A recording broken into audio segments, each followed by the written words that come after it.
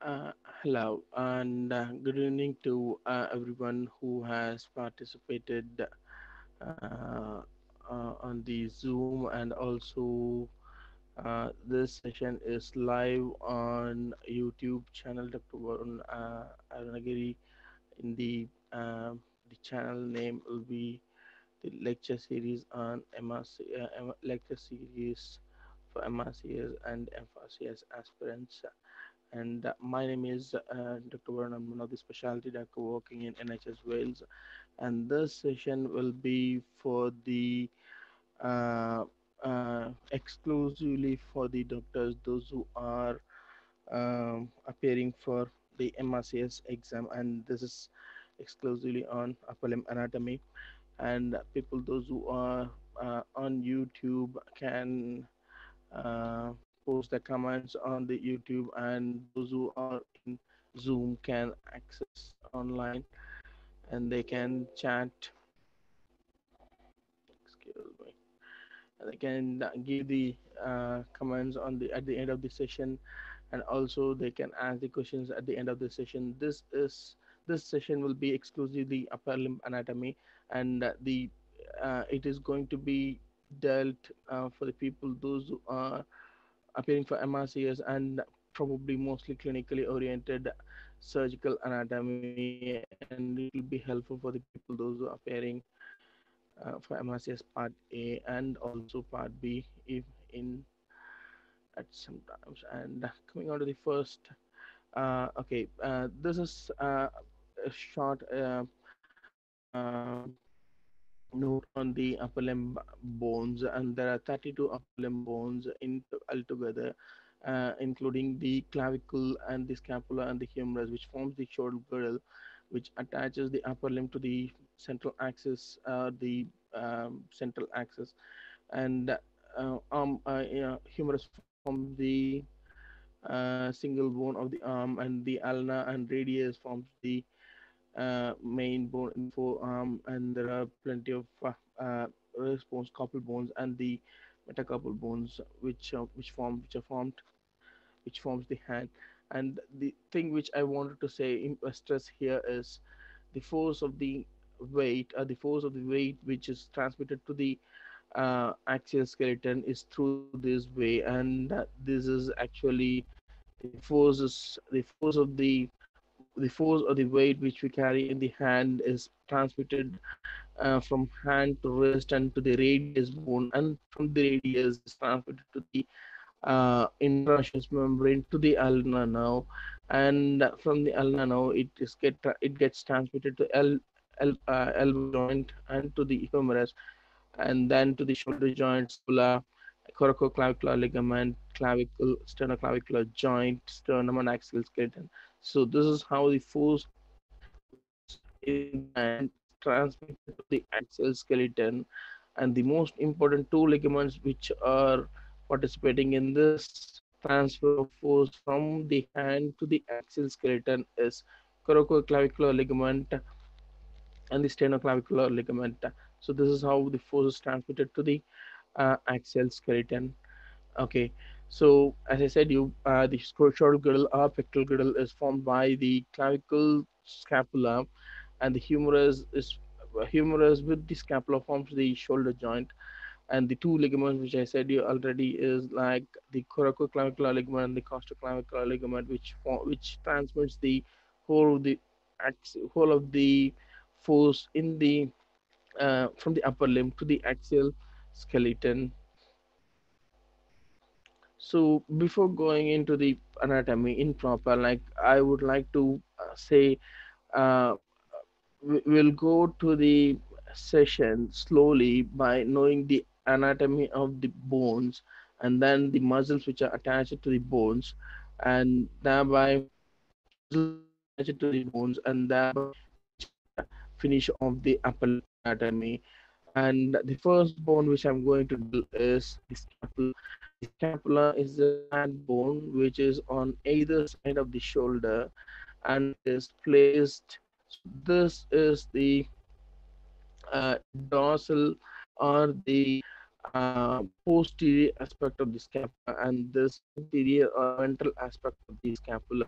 So you just raise your hand as if you bless someone. That shows the scapula, and this anterior surface and the posterior surface are the ventral aspect or the dorsal aspect is same. And the scapula has got three borders and two surfaces. One superior border this is the medial border and this is the lateral border. And the surfaces are two surfaces. One is the costal uh, one is the costal surface or which is facing towards the ribs. And this is the posterior surface or the dorsal surface or uh, dorsal surface which is posterior is facing towards the back so the most important thing which separates the most important thing which separates the uh, scapula, uh, dorsal surface of the scapula is the spinous process.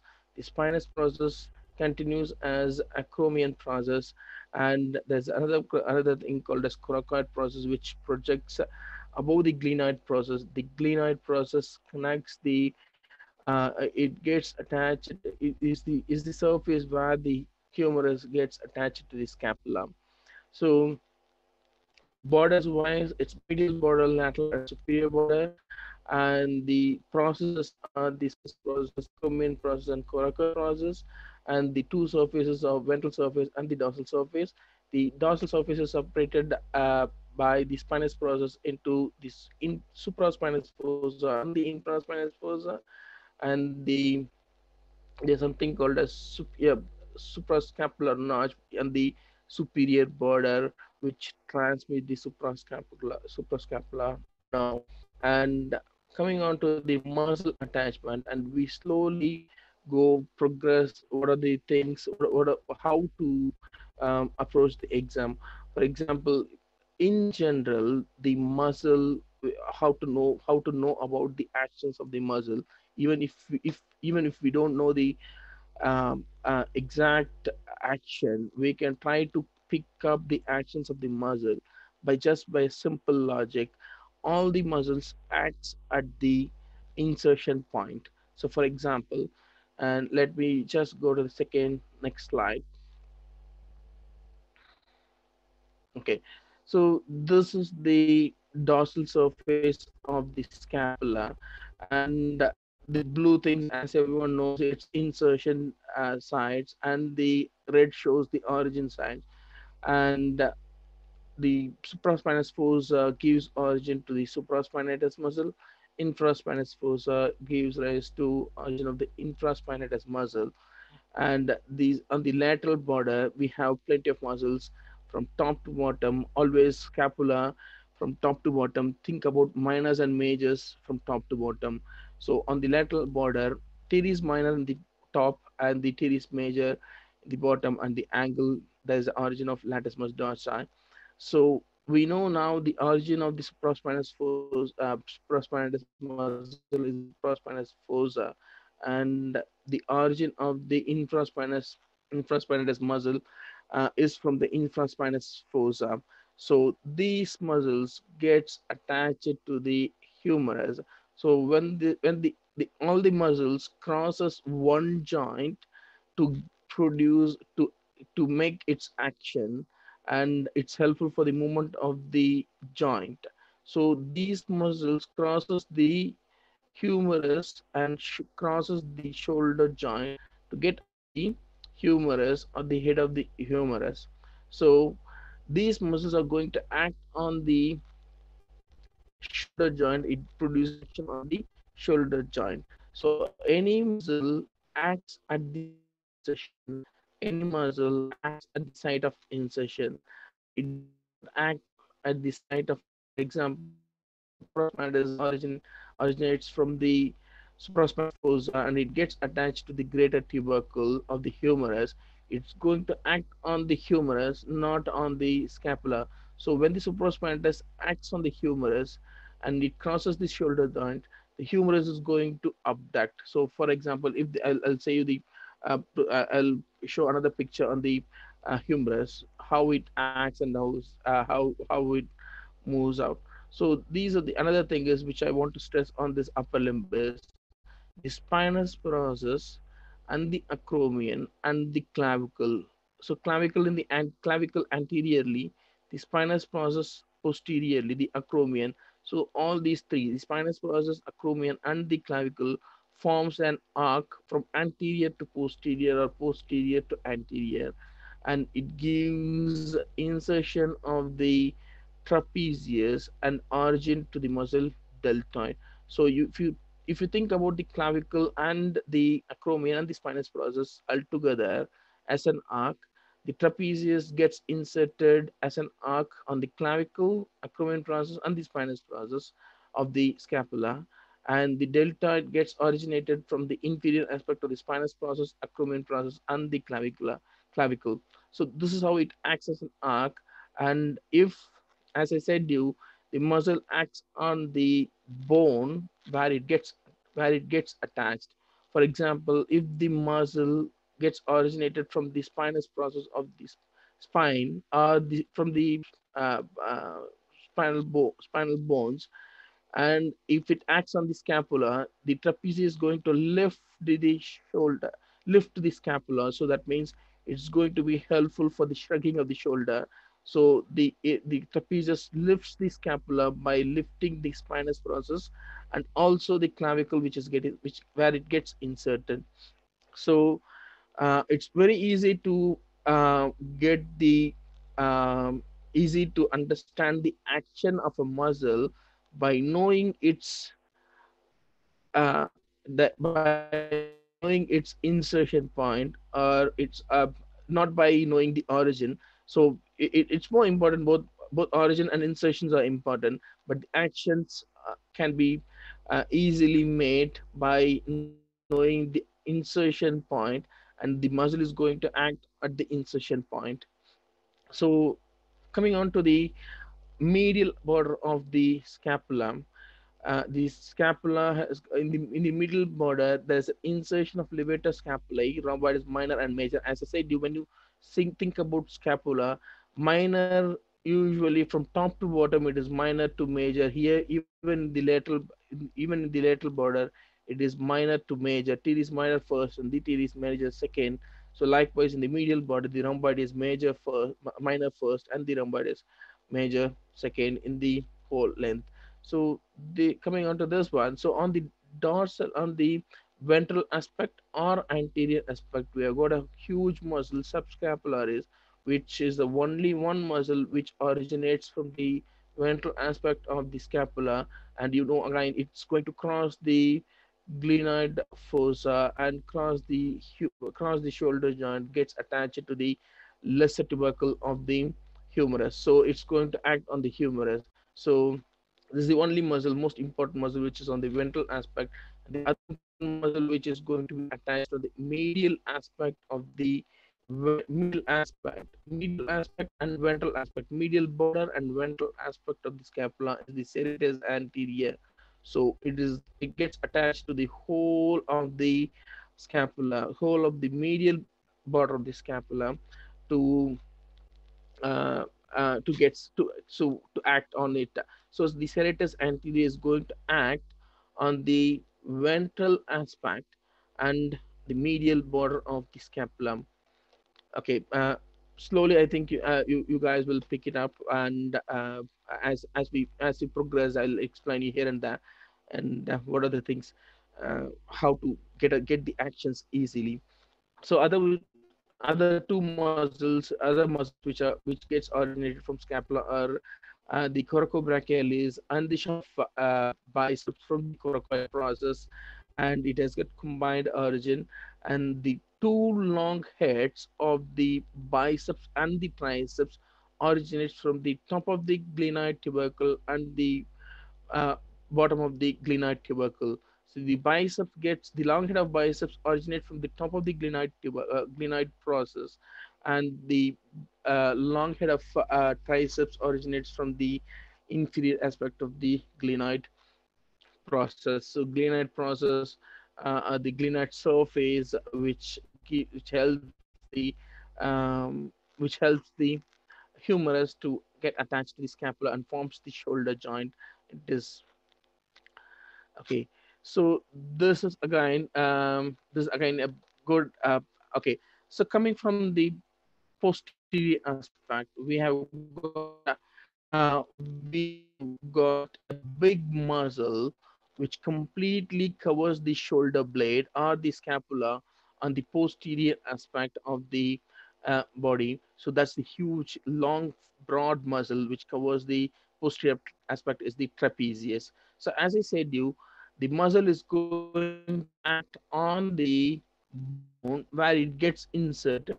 It's not going to on the origin. So it gets originated from the occiput base of the um, cervical vertebra and nuchal line, the T1, T1 to T4 vertebra, T5 to T12 vertebra. So it has got a very broad origin on the post and it gets inserted as I said you it you make an arc uh, imaginary arc posterior by the spinal of the scapula acromion process on the lateral lateral, lateral aspect and anteriorly by the clavicles or superior aspect of the clavicle.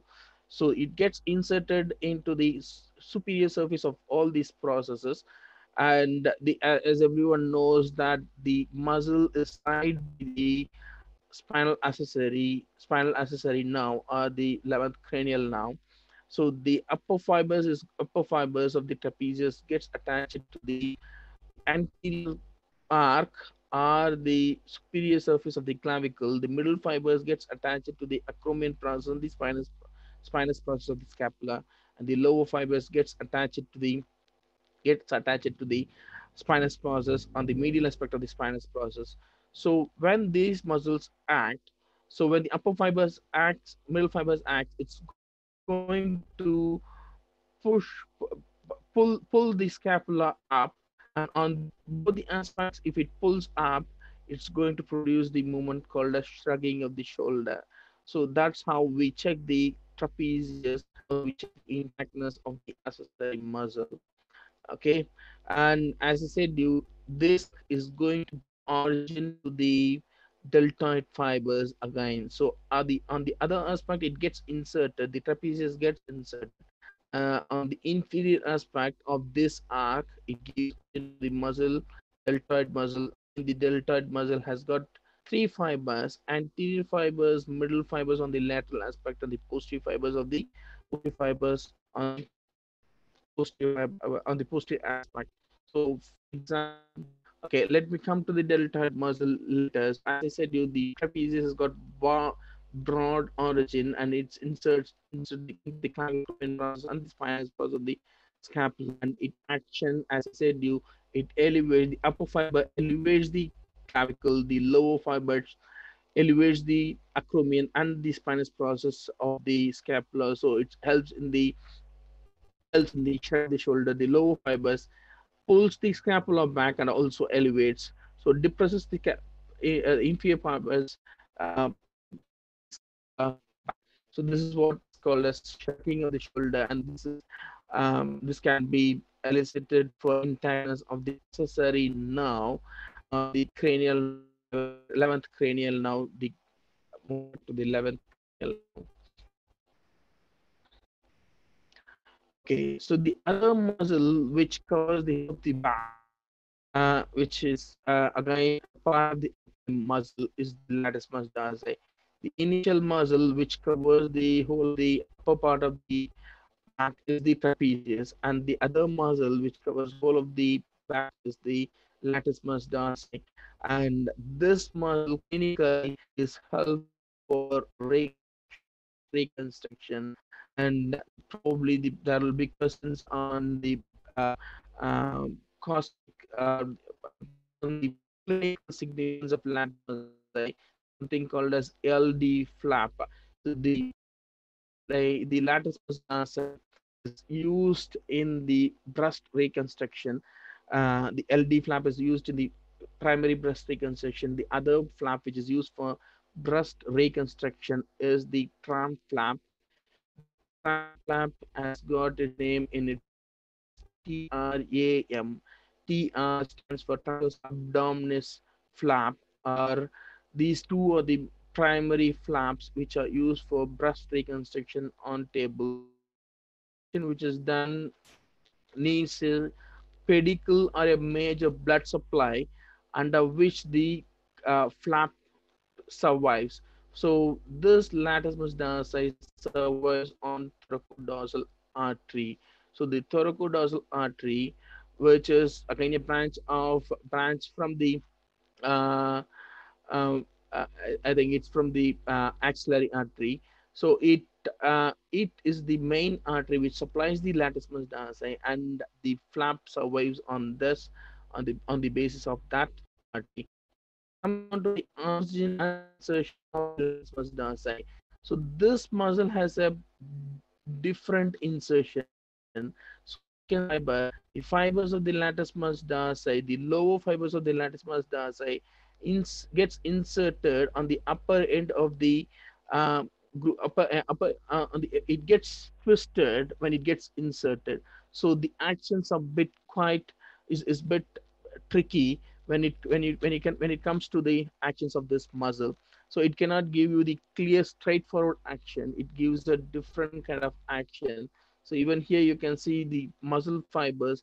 The upper muscle fibers gets inserted in the bicipital groove in the humerus but it gets the lower fibers gets inserted above and the upper fibers gets inserted below. So there's a twist in the insertion of the latissimus dorsi in the bicipital groove. So the origin of the muscle of the latissimus dorsi is from the T4 spinous process spines of this inferior six vertebra T6 to T12 and in the lumbar vertebra L1 to L5 and it is also from the aponeurosis of the lumbar fascia. So it starts it's it originates as an uh, muscle fiber and it's originates as a aponeurosis in the spinous process of the T6 to T12, L1 to L5, and also from the iliac crest.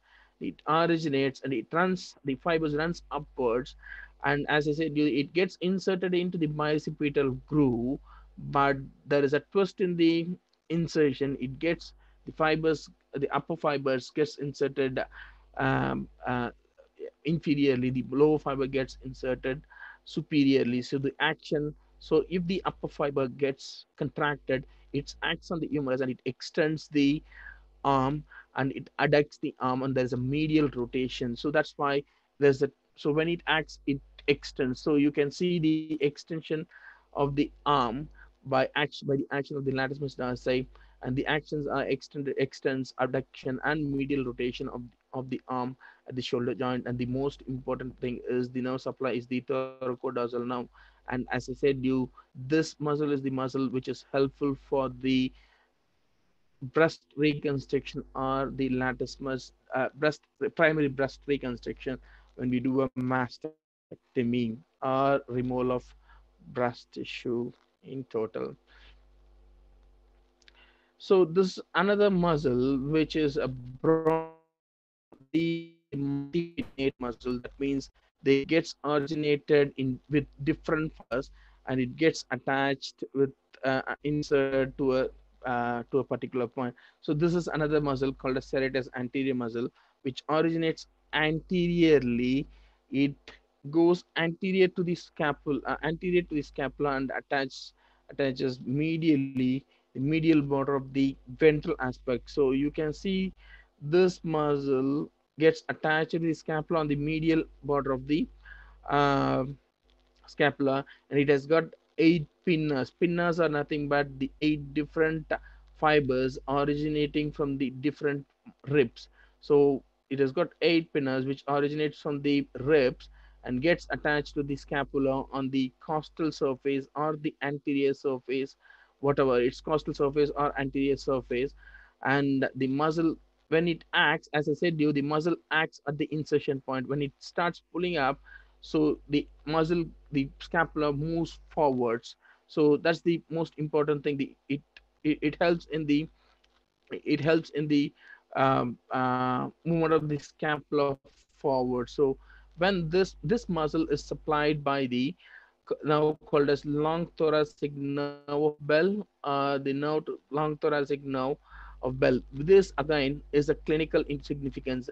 This now is there's a chance of injury of this now when we do an axillary dissection and when the surgeon goes very close to the thoracic wall and dissects the um, dissects the fat from the thoracic wall, there is a chance of injury to the long thoracic nerve of bell.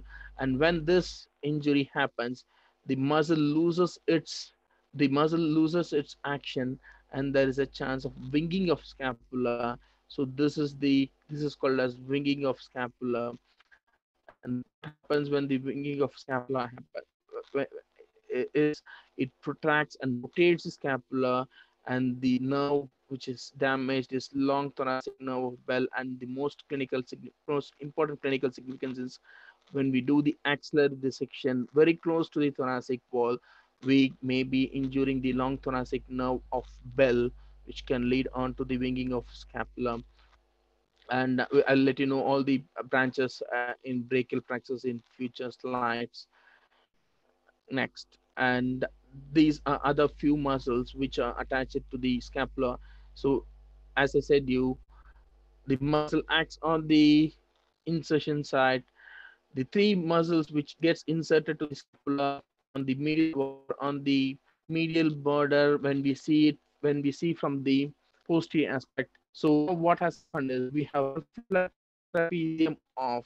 So we have taken off the trapezium which was which got which which gets originated from the uh, superior nuchal line or the occipital prominence and the um, T12 vertebra, T12 vertebrae up to T1 to T12 we removed the trapezius from here and as we remove the trapezius we could see all these T muscles which gets inserted in the scapula and this muscle this levator name of the muscle itself says the levator. Levator means it's going to elevate the scapula. This muscle elevates the scapula and the rhomboid is minor and major. As i said you when when it comes to scapula minor comes at the top and the uh, uh, major comes at the bottom. So the rhomboid is minor and the major so it gets from the rhomboid is minor gets originated from the c7 spine to l, l uh, t1 spine. And uh, the rhomboid originates from t2 to t5 uh, vertebra spine, spinous process of the uh, vertebra. And it gets attached to the dorsal surface on the medial border of the scapula. And again action it's very easy to remember. This is levator scapulae the name itself says it elevates the scapula and the rhomboid is minor and major. So when this muscle acts pull the scapula backwards. So it causes the retraction of the scapula. So the scapula gets pulled back or the retraction. So retraction of the scapula is by the rhomboid is minor and the major. And the all. So when it comes to how to remember the nerves, nerve supply of muscle, think about the muscles in group and you will get the answer for the uh, nerve supply. Most of the time, the, the nerves the, the nerves are supplied in groups. So the dorsal scapular nerve, which is again a branch from the brachial plexus, supplies all the muscles from the medial on the, on the medial border, which gets inserted into the scapula, and the only muscle which is uh, uh, all these three muscles are supplied by dorsal scapula nerve. So the other muscle, uh, when we, when it comes to the lateral border of the lateral border of the uh, scapula, as I said, you teres minor first and the teres major second. Again, the latissimus dorsi uh, and the in from the angle of the scapula is the origin. All these originates, and uh, these muscles gets inserted into the humerus straight away. So just make a straight line like this. So it gets inserted into the humerus and it acts on the humerus again. Acts on the humerus. So coming on to the deltoid muscle. So as I said you already, make an arc which is formed. So this is a clear picture which shows the arc as I said you. So this is the arc which is bony arc which is formed by the spinous process of the scapula, acromion process of the scapula and the clavicle anteriorly. So this is what the arc which I said. This arc is the most important arc. trapezius from the and it gets the origin of the muscles deltoid happens from the inferior aspect of this arc. So the, uh, deltoid has got three parts, again, three fibers, anterior fibers, which gets originated from the clavicle, the lateral aspect of the clavicle. And uh, the acromion process uh, and the acromion process gives rise to the middle fibers and the posterior fibers from the spinous process. So all these muscle fibers gets attached to the uh, deltoid on the lateral aspect of the humerus. So automatically the deltoid's action is going to be on the humerus. Okay it's not going to be the uh, it's it's insertion point where it's where, where the muscle is act so when the fiber is going to contract it's going to abduct the arm. So deltoid is going to abduct the arm. But what about the initial abduction? The initial abduction is not by the deltoid the initial abduction of the arm is by the supraspinatus muscle. So that's going to be another important uh, um, uh, uh, MCQ for the MRCS graduates. The initial abduction is by the supraspinatus, and from 15 to 90 degree, the deltoid helps in the abduction. So this is about the origin and insertion of the deltoid. So the nerve supply is by the axillary now and anything on the regimental badge. So yeah, regimental badge side, just on the tip of the on two shoulders, like if you if you touch the shoulder so that's the area where we keep we have the regimental badge so the regimental badge side is for the axillary nerve so any injury to the axillary nerve can damage the nerve supply to the deltoid and also to the teres minor if i'm not wrong. Yeah teres minor. So these are these are the uh, origin and insertion of the deltoid and the action of the deltoid is the abduction of the arm but not the initial abduction. And the nerve supply is this thing and let's go to the next. Okay so when we reflect the we reflect the delta and we see all these muscles when reflect the delta as i said this is r which i said you spinous process anteriorly clavicle laterally acromion the spinous process uh, posteriorly so when this muscle these arc gives rise to the delta. When this arc, the muscle is reflected, we see all these rotator muscles underneath the. So it's very easy to remember always top end of the humerus, top head or the anatomical neck and the tubercle, the tubercle and the and the surgical. So this is called a surgical neck of the humerus. It's below or inferior to the inferior to the greater tubercle and the lesser tubercle. This is the anatomical neck. It's between the head of the humerus and the tubercle. There's, there's a group called as anatomical neck, and this is the surgical neck just below the R inferior to the greater tubercle. The the clinical of the humerus is when there is a fracture of the humerus, the surgical injury to the axillary nerve. So this axillary nerve, the sensation of the axillary nerve, the, the, the sensory supply of the axillary nerve is the regimental badge or the um, skin over the surface of the deltoid. So we can, if there is an injury to the axillary nerve with the shoulder, shoulder head of the humerus fracture, there is a loss of sensation on the regimental badge side. It's actually there's an injury to the axillary nerve. So coming on to the rotator cuff muscle. So think about the, the muscle which eh, which I said about supraspinatus, infraspinatus, teres minor, and the subscapularis.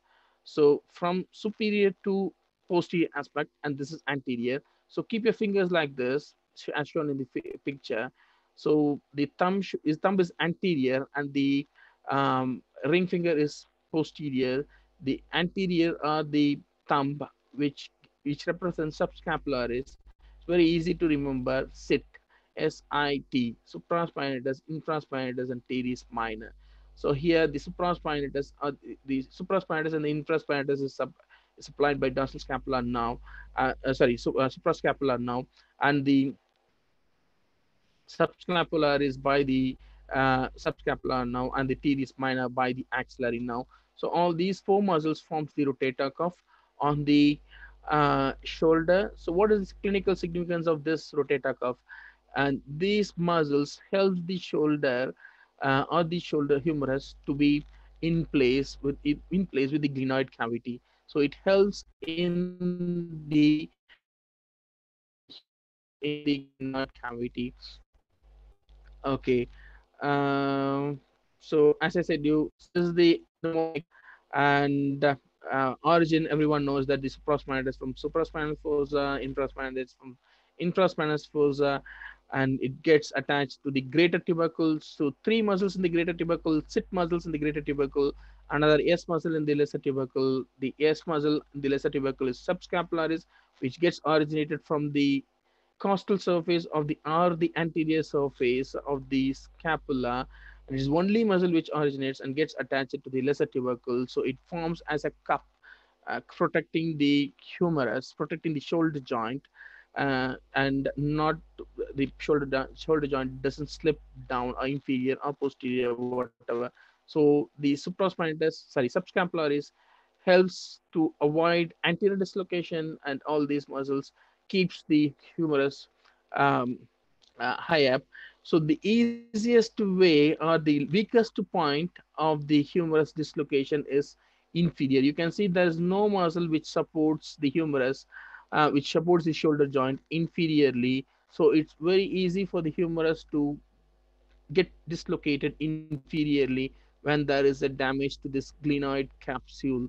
So the inferior glenoid capsule has got uh, has got chances of increased chance of damage, uh, Uh, increased chance to get damaged, and it can cause it can cause inferior dislocation easily because the, there are muscles which supports the humerus on the top on the and in the anterior and in the posterior top by supraspinatus and infraspinatus, posterior by teres minor and the anterior by lesser tubercle, sorry, anterior by the subscapularis. And there's no muscle on the bottom, so that's why there is a chance of increased chance of um, humerus dislocation inferiorly. So these muscles, uh, these uh, these uh, rotator cuff muscles are uh, are uh, fibrosed or can da get damaged in uh, adhesive capsulitis.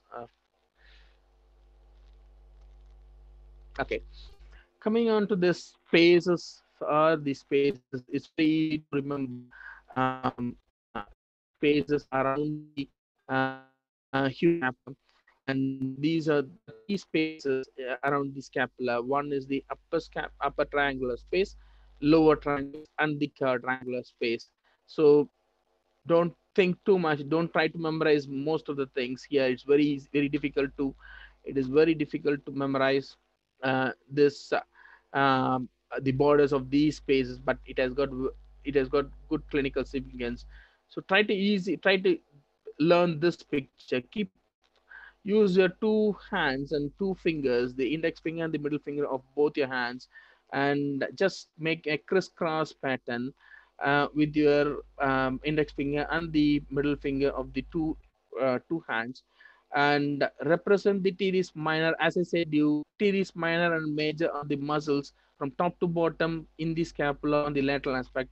Always when it comes to scapula minor at the top major at the bottom and so the middle finger represents on your left hand side the middle finger represents teres minor and the teres major here on the lower uh, index finger the long head of triceps is represented by the index finger on the other hand, and the humerus on the middle finger represents the humerus on the other hand. So now, so we know this is this your left hand is going to act as a scapula, and this one is going to act as a humerus. So this is lateral and this is medial. So the upper triangular space is here. The upper triangular space, the lateral border is formed by the triceps, long head of triceps, the superior border by the teres minor and the inferior border by the teres major. So likewise, on the other hand, uh, the quadrangular space is, so we have four, four sides in a quadrangular space. The superior borders by the teres minor, the inferior borders by, by the teres major, and the medial aspect is by the, by the long head of force, uh, long head of triceps, the lateral aspect by the humerus, and the lower triangular space is formed by the again humerus on the lateral long head of triceps on the medial and the superior by the teres major. So just try to remember this thing this picture and this uh, whenever it's it, it it gives very good clear a clear picture on the spaces and the borders of the spaces. And as we go to the contents, the quadrangular space contains the axillary nerve with the posterior circumflex humerus artery. The artery, this is the third, this posterior circumflex humeral artery is the branch of the branch of the uh, it's a branch from the third part of the it's a branch from the third part of the axillary uh, sorry hum, uh, uh, axillary artery and this is where there is a injury to the surgical neck of the humerus and this causes the axillary nerve damage. And the uh, upper scapular nerve the uh, the uh, blood vessel the content of the upper scapular nerve is the um, circumflex scapular artery. So this a part of this is a part of the arterial arcade around the scapula and this is the, content of the lower uh, triangular space is the profunda brachii artery or the, and the radial nerve so this forms the content of the radial uh, radial groove on the humerus. So uh, the nerve which is there in the radial uh, radial groove or the spiral groove of the humerus is the radial nerve. Everyone knows that it's a radial nerve. So I'm here to just explain you easily or try to try to uh, help you to remember things in exams that easily. The spiral groove has got radial now in the um, uh, radial now in the spiral groove. So this is a part of the spiral groove. This lower triangular space is a part of the spiral groove and the um, um, radial nerve and the profunda brachial vessel, which is a branch of the brachial artery, is the are the contents of this lower triangular space. So try to remember this picture and try to keep your fingers like this and uh, try to uh, remember the borders very easily. So you can make out the borders of the spaces easily in the uh, upper limb. And the contents is the contents how to remember the contents the upper triangular space is near to the scapula which has the uh, which has the circumflex scapular artery which forms the uh, arterial um, uh, arcade around the scapula. The quadrangular is near the surgical neck of the everyone knows that the surgical there is a fracture of the surgical neck of humerus. We have the axillary nerve injury,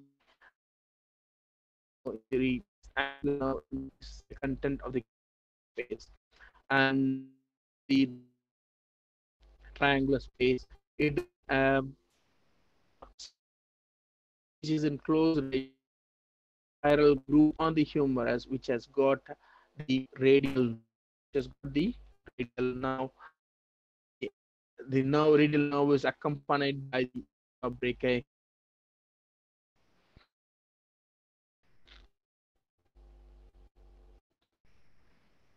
Okay, so this is another now the suprascapular nerve. The significance here, this picture is to emphasis on the suprascapular nerve, which runs underneath the supras, uh, which is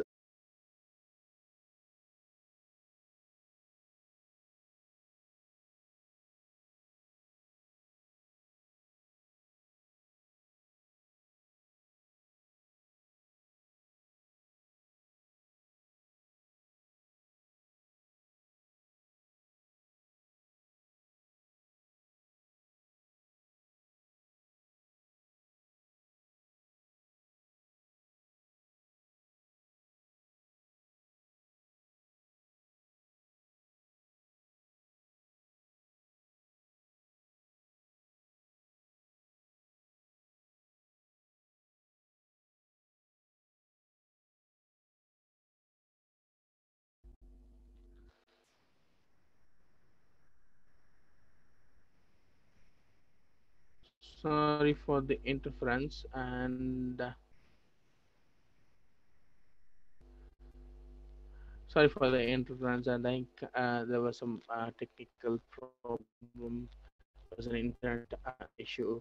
Okay so this slide is to uh, show you that the suprascapular nerve runs in the notch and the suprascapular artery runs above uh, ligament and the runs in the knot and this is the, nothing there's no nothing.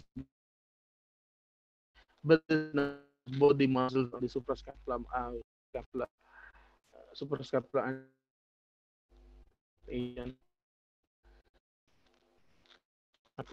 So next, the most important thing which we have to remember in the exam about the clavicle is for the part B, the people who appear the part B, the side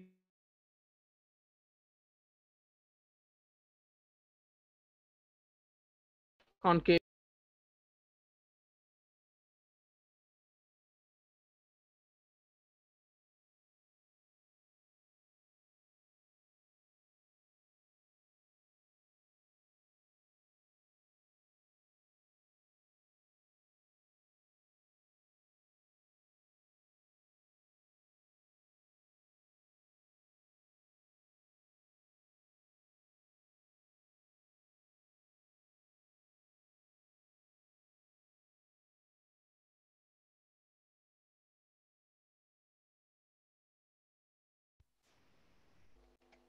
Sorry, guys. I think there's some some some issues with the uh, internet. I'm not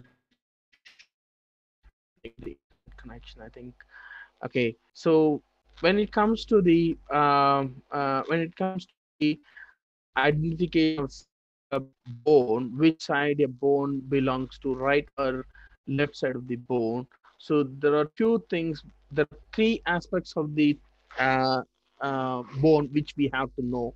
So first thing is the most important thing is the anterior or the posterior, which which part of the bone is anterior, which part of the bone is posterior, and which part of the bone is medial, which part of the bone is uh, lateral, and which is the uh, which is the uh, which is the um, uh, upper end and the lower end. So if when we know these these three, any one of these three, it's easily it's very easy to identify. So in clavicle, the anterior aspect of the clavicle is always convex, and the lateral medially, and the lateral aspect is concave laterally. So and this is a sided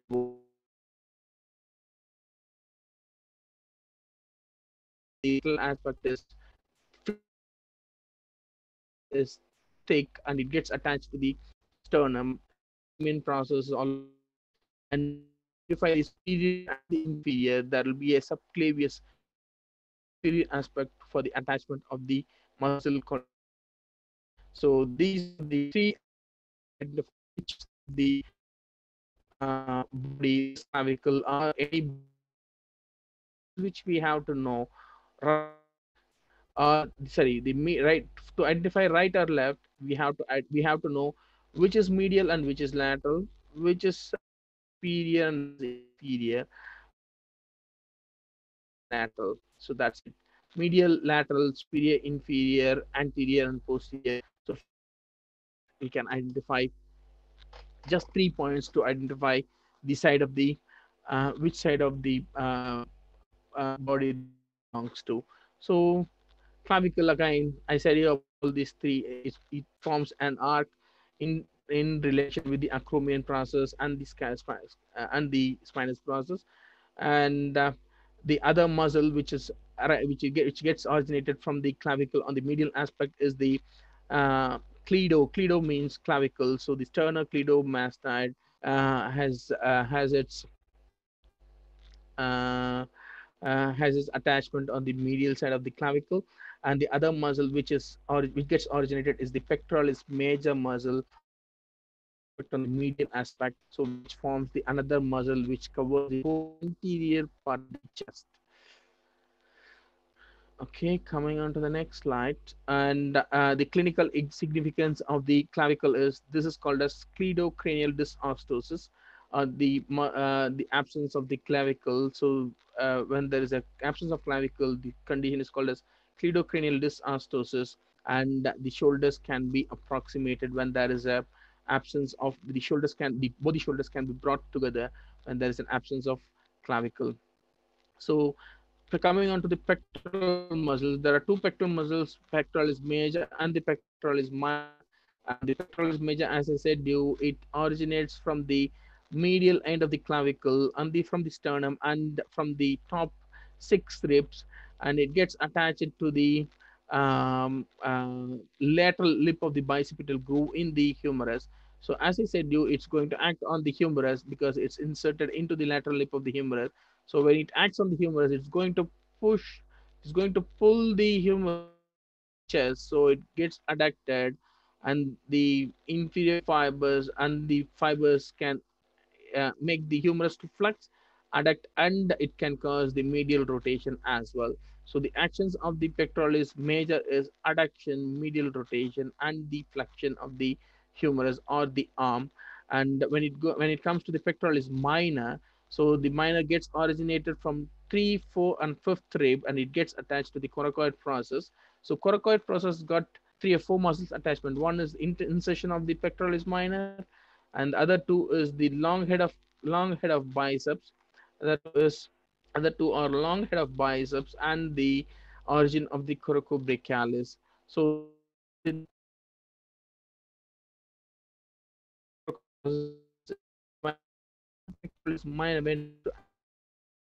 so it's going to push uh, scapula forward by getting inserted. So there is a forward movement of the scapula when uh, when it comes to the action of the pectoralis minor.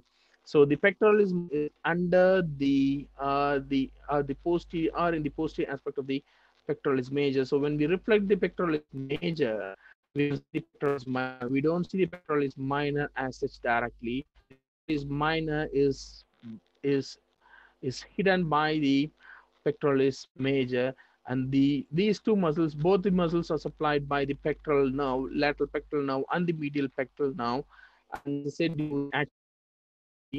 so when we see the when when we when we insertion of two major in the uh, upper end of the humerus in the bicipital groove we have to come we have to know about these this mnemonics. There is a lady between two majors this is between greater tubercle and the of the humerus. The lesser tubercle always faces anteriorly and the greater tubercle laterally. And uh, we know the top end will have the head of the humerus. So these are the three points which we have to know uh, to uh, identify the side of the bone. And this the, this dotted line is the surgical uh, anatomical neck of the humerus. This dotted line between the head of the humerus and the anatomical neck and the surgical neck. And this is the bicipital groove between the two tubercles, greater tubercle and the lesser tubercle.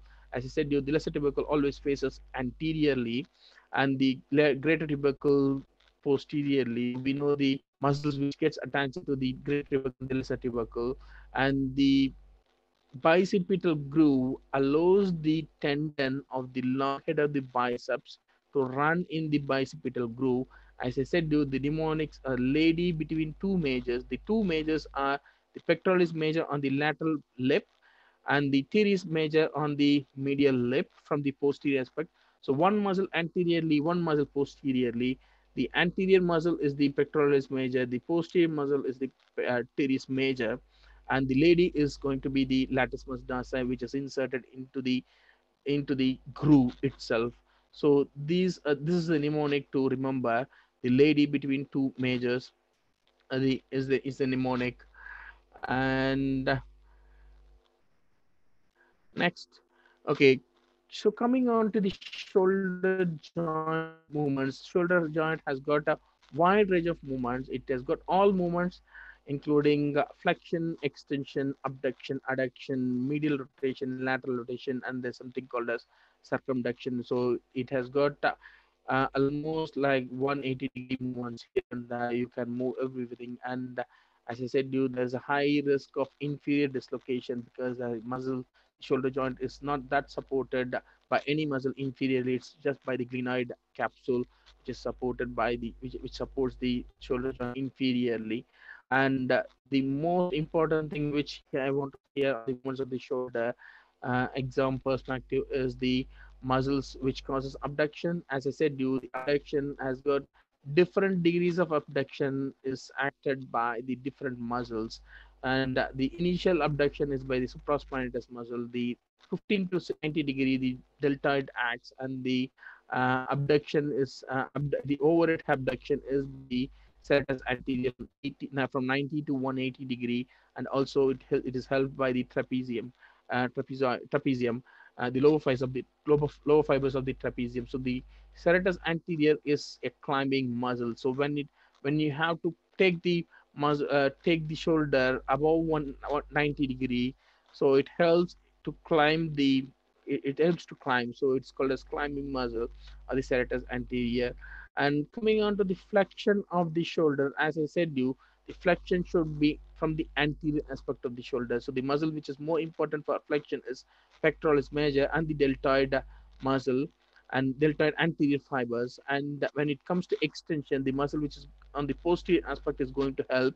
So the muscle which is posterior, as I said, you latissimus dorsi, which has got inverted insertion. The, the, there's a twist in the insertion of the muscle, so it helps in the extension the, uh, especially when it is 45 to 60 degree of extension. It is latissimus dorsi. So adduction again, muscle which is going to push, pull the arm towards the chest or the pectoralis major, and latissimus dorsi from behind, pectoralis major from anterior, and uh, uh, these are the two biceps and long head of triceps. This is not that important. And the medial rotation, again, as I said, you the medial rotation is by pectoralis major anteriorly, and the lateral uh, latissimus dorsi posteriorly. So you can compare the medial rotation and the adduction. Most of the most of the muscles are same, and the lateral rotation of the um, uh, arm is by the deltoid posterior fibers is more important. This this is the only muscle which helps the um, posterior, which helps in the lateral rotation of the arm, and the other two muscles are infraspinatus and teres minor, which is not that important. So everyone knows. So other accessory muscles can be learned if but doesn't have that importance in the exams. So this is a biggest topic in upper limb, the brachial. Any uh, any muscles in the upper in the upper upper limb is from the brachial plexus. Uh, the brachial plexus, as everyone knows, it has got roots, trunks, divisions, cords, and branches. And how?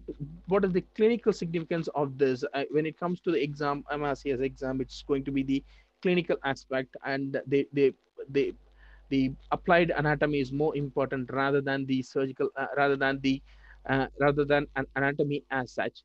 So the roots and uh, the roots from C C5 to T1, and uh, it gets the C5 and C6 combines to form the upper trunk. The C7 continues as a middle trunk. The C8 and T1 form combines to form the lower trunk. So all these trunks divides into anterior and posterior division. So upper trunk, anterior and posterior, all the lower, all the posterior divisions of the trunks forms the posterior cord. So uh, this is very important. All the posterior divisions of the trunks forms the posterior cord. The anterior divisions of the upper and middle trunk forms the lateral cord, and the posterior division of the lower trunk forms the medial cord. All right, and the cords lateral, posterior, and medial cord gives rise to branches. I'll get to the branches separately in a separate slide. So these the roots, trunks, divisions, and cords. So what is the clinical significance of this? Is one thing is all the upper limb muscles are supplied by the brachial plexus nerves, and the other thing is the block. So there is something called as brachial plexus block. That's the clinical significance of the brachial brachial plexus. Any arm surgery can be done under the brachial plexus block even for three to six hours without any issues when there is a long-term action of the nerve block. So what is the anatomical significance of this brachial plexus? Okay, the roots and the uh, the roots and the trunks are near the scalene muscles. The roots and the trunks are near the scalene muscles. So it emerges out of the two scalene muscles, anterior scalenus, anterior scalene muscle, uh, middle scalene muscle. and there is something called a supraclavicular and the infraclavicular region of the brachial plexus where the divisions happens. So where the division happens. So when the division happens when there is a block which is given in the supraclavicular region or the infraclavicular region uh, the landmark for the block is the um, subclavian artery so the subclavian artery is surrounded by the brachial plexus, especially the divisions and the um, cords. So the posterior cord is formed just inferior to the middle third of the clavicle. So this is very important for clinical purpose. And when there is an infraclavicular block, we are going to block the posterior um, cord and also the the lateral and the medial cord is very close to the coracoid process where the pectoralis minor gets attached. So you can see the lateral cord here and the posterior cord here and this is the uh, medial cord. So when we give an, a block here in this region with the help of ultrasound guidance, we just pick it up, we pick up the um, subclavian artery, when we give a block, the whole of the brachial plexus gets blocked and we can avoid, uh, we, we can block whole of the uh, nerve supply to the whole of the upper limb. And the most important thing which I want to stress here is the brachial, uh, is the axillary artery, the subclavian artery, and the it continues as axial artery. And uh, as it crosses the uh, pectoralis minor, it becomes the uh, sorry, it, uh, as it crosses the teres, uh, teres minor, it crosses the, uh, it, it becomes the brachial artery. So this is the clinical sequence of the brachial um, trunks, divisions, cords, and and these are the blocks interscalene block, supraclavicular block, interclavicular block, and axillary block. And the landmarks are the subclavian, um, the artery, uh, subclavian artery, and the teres minor is another landmark under which uh, when it when we go behind uh, inferior to teres minor, uh, branches of the cast. Okay, so again, uh, just purpose and this are the um, nerve roots are the nerves from the echumedics uh, the uh, uh, nerves which arise from the roots uh, C5, C6, C7 from C6, C7 uh, the nerve uh, which uh, which is very important now which, which comes from the roots the long thoracic nerve of Bell and uh, the these are the nerves from the roots that are which this other nerve which is the scapula nerve which supplies the rhomboids and the levator scapula. And the nerves from the trunk upper trunk the superior trunk which is very that's Erb's point. So very important in the uh, brachial plexus of clinical significance is Erb's point. There are six nerves which gets inserted at this point. So two roots two branches from the trunks and two divisions or anterior division and posterior division. So this is the sixth nerve point where the Erb's point is there. And this Erb's point, there's a chance of injury to the Erb's point when the, when, the, when there is a difficult delivery uh, during the parturition. There's a chance of Erb's palsy, and we'll come to the Erb's palsy in the next few slides. And there are few other apart from uh, these Erb's point, there's no other branches from the middle trunk and the inferior trunk and there's no branches from the uh, uh, divisions. And when it comes to cords, the posterior and the medial cord has got five division, five branches. The lateral cord has got three branches. The lateral pectoral now, the musculocutaneous lateral root of the median now is from the lateral cord. And when it comes to medial cord, it forms the medial pectoral nerve. So lateral cord gives rise to lateral pectoral nerve, medial cord gives rise to medial pectoral nerve. So two cutaneous nerves, medial cutaneous nerve of forearm and medial arm, and it gives one branch to the medial root of the median nerve and the ulnar nerve in the medial cord. So posterior cord again has got five branches upper scapular now, lower scapular now, axillary now, radial now, and the thoracodorsal now with the latissimus dorsi. The thoracodorsal the thoracodorsal now are, the uh, now, as I said, you uh, for during the reconstruction. And the I'll see so policeman think put your put, put the arm extend it, it gets to remember there will be two types of questions in the exams one is the will affected and which cannot be done. So what is the position in the Erb's point? Uh, which cannot or in, in, the opposite way they can ask which cannot be uh, uh, which cannot be done in the Erb's point paralysis.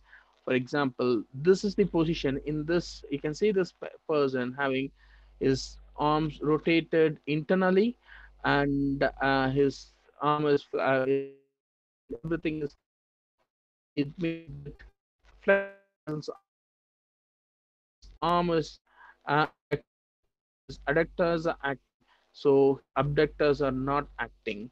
So there's an active flexion which is impo- active flexion is impossible because of paralysis of biceps, biceps brachialis and brachioradialis. And there is a paralysis of supinator which causes uh, pronation deformity of the forearm. So that means has so it is internally rotated. So what i want to say here is the most important thing which i wanted to say here is in exam there can be two types of questions here. One is the what are the muscles affected? Uh, what are the things how is the position? And the other thing is which which actions are impossible. So try to keep your hands in such a way that the policeman tips or the porter tips. And these are the muscles which are acting and the muscle which are not acting is the opposite muscles. Okay so coming on to the are the another brachial injury is is involvement of the lower trunk. So there's an involvement of the C8 and T1 so when there is involvement of C8 and T1 it's the medial aspect of the arm which is involved so any medial aspect T8 and T1 which involved will, is, is going to cause the claw hand so the Klumpke's paralysis causes claw hand sometimes there's a chance of Horner syndrome with some ptosis and because of the um, sympathetic plexus which is involved in the T1 or stellate ganglion which is involved with the T1 and it has got very poor prognosis. So otherwise upper trunk involvement causes Erb's palsy and the lower trunk in uh, lower trunk involves the Klumpke's palsy and the classical uh, feature is claw hand as it involves the C8 and T1. You can see the C8 and T1 involves the medial aspect of the arm. So another thing which is important to, for the exam purpose is the uh, clavipectoral fascia. Uh, the three structures which pierces the clavipectoral fascia. This is the clavicle, this is pectoral muscle, these are the pectoral fascia. You can see the clavicle and the pectoral, and this is the clavipectoral fascia which engulfs the which engulfs the pectoralis minor and it gets attached to the as a suspensory ligament gets attached to the uh, deep fascia of the armpit. So this clavipectoral fascia is pierced by three structures. One is the lateral pectoral nerve, the other one is the thoracoacromion artery, and the third one is the cephalic vein, which runs uh, as a uh, which runs medially on the medial aspect of the uh, deltoid muscle, and it runs into the uh, drains into the axillary uh, vein.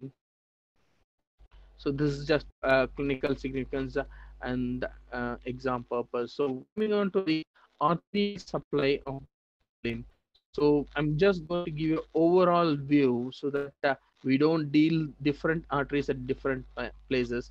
So everyone knows that the right brachiocephalic gives rise to right subclavian and the right common carotid. So this happens just behind the first first uh, behind the cost um, uh, sternocostal angle between behind the sternal uh, sternum mandible sternum.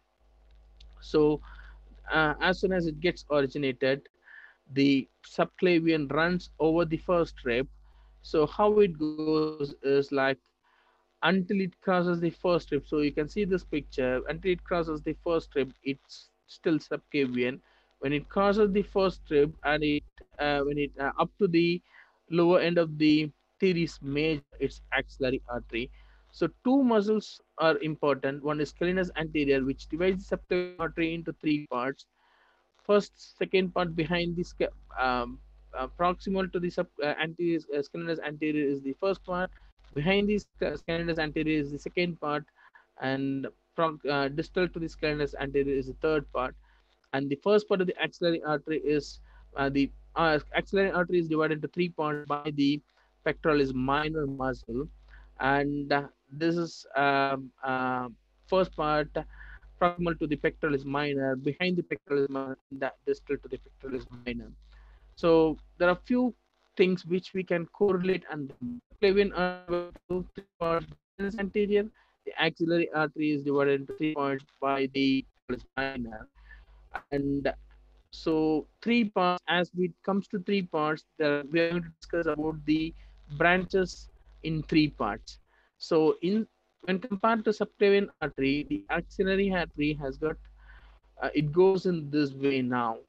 Uh, in the subclavian artery, the first part has got three divisions. The second part has got three branches. Sorry, not three divisions. So three branches the first part, and the second part has got two branches, and the third part has got zero branches.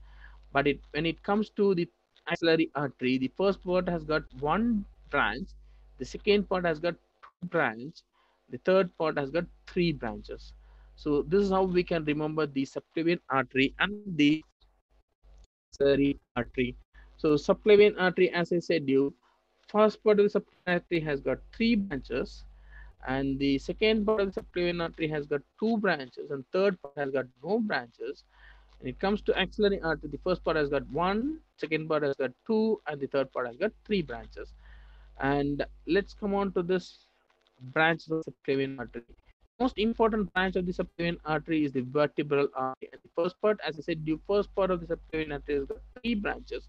The three first branches are the vertebral artery, internal thoracic artery, and the thyrocervical trunk.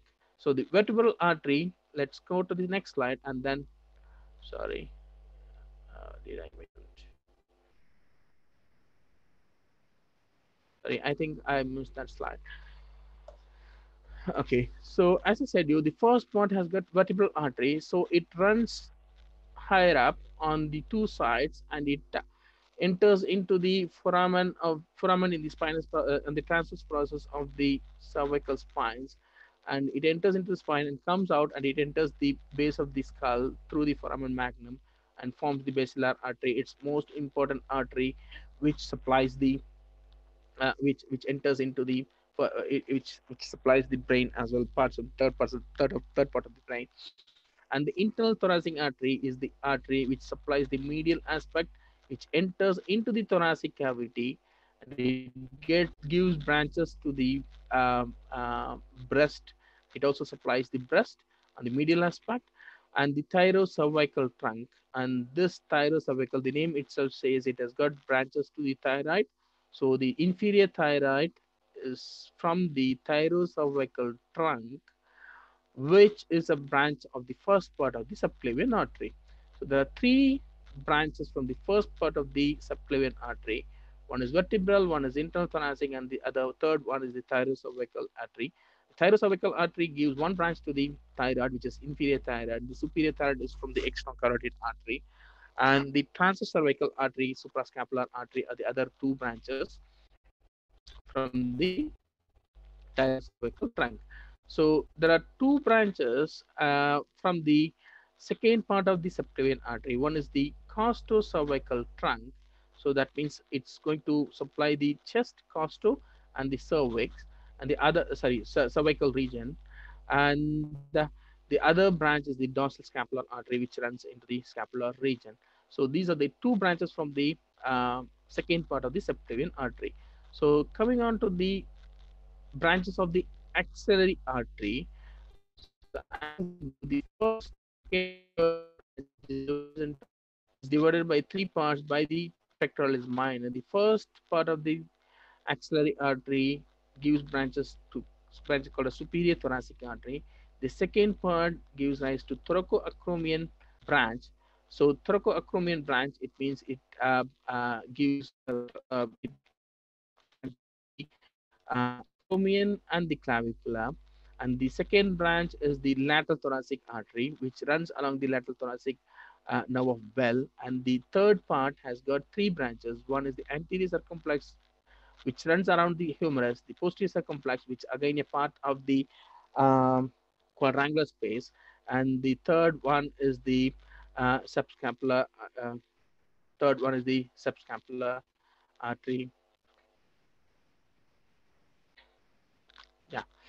So this is how just remember the things in such a way that two muscles, subclavian artery and the axillary artery, anteroscleral and the pectoralis minor, uh, divides into three parts. First part in the subclavian gives three branches.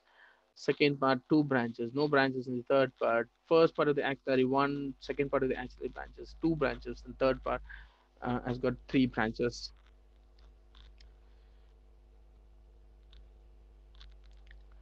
So I think we dealt with these branches, superior thoracic, thoracoacromion, and the lateral thoracic artery, which forms the uh, which helps which runs around the lateral thoracic nerve of Bell. So okay, this picture just I wanted to which I want to discuss is the so just compare this arteries with the dissection or the axillary dissection. So this is what we see in the axillary dissection. There you can see two groups of bundles of nerves and arteries which are seen here. One is the lateral thoracic vein and artery and the nerve. Here I said you about the thoracodorsal bundle which includes vein, artery and nerve. So as I said, the thoracodorsal artery forms the pedicle for the LD flap. And when we injure this bunch of nerves, we uh, will land up long thoracic nerve with lateral thoracic artery and vein. We'll land up with the uh, uh, so the two important nerve bundles which are more prone for injury during the axillary dissection is one is the lateral thoracic bundle one is the lateral thoracic bundle and the other one is the thoracodorsal bundle so this is a picture which shows about the intrathoracic artery which runs in the thorax and it is it will be on the lateral border on the inner aspect of the lateral border of the sternum and it gives it supplies to the anti-intercostal um, intercostal arteries and it ends up in the phrenic branches and the superior epigastric artery is a branch of the internal thoracic artery uh, which is a branch of the first part of the subclavian artery so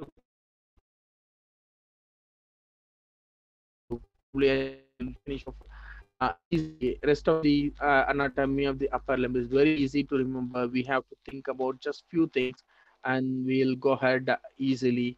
So everyone knows about the um, uh, upper end, how to identify the site. So medial aspect is going to be the head of the humerus, and it's going to be again upper end, and the lateral aspect is going to be the uh, uh, lower end, and the lateral aspect is going to be the lateral condyles, and uh, uh, anterior surface is going to be lesser tubercle. The posterior lateral aspect is going to be the uh, to be the greater tubercle or the greater tuberosity. So nothing much from here. And uh, arm muscles. Okay, coming on to the arm muscles, the most just three. Again, as I said you earlier, when how to remember the nerve supply of the muscles. Try to remember it in groups. So the anterior aspect of the arm has got three muscles: the biceps brachii, the uh, brachialis and the coracobrachialis. These are three muscles which are in the upper upper arm and the anterior, anterior compartment of the arm. And these three, all these three muscles are all three muscles are cutaneous nerves and the musculocutaneous nerve when it comes to musculocutaneous nerve we have to uh, know that it pierces the uh, uh, it pierces the coracobrachialis. Okay, so all these muscles are in the anterior compartment of the arm. Three muscles in the anterior compartment of the arm. and everyone knows now the biceps. The biceps origin is from the superior uh, aspect of the glenoid tubercle. The tendon runs into the uh, bicipital groove and forms the muscle bulk and gets inserted into the radial tuberosity and on the medial aspect of the radius. Okay, coracobrachialis, as I said already, the origin from the coracoid insertion is going the humerus of the medial aspect, and the brachialis form its origin is in the lower end of the humerus and it gets attached to the ulna, uh, coronoid ulna. So what happens is this is the muscle which is the strong flexor of the elbow, and there's two two joints. One is one is the shoulder joint and the elbow joint. Much of the action is found in the elbow joint. As it crosses the elbow joint, it gets attached to the uh, radius of the uh, radial tuberous of the radius.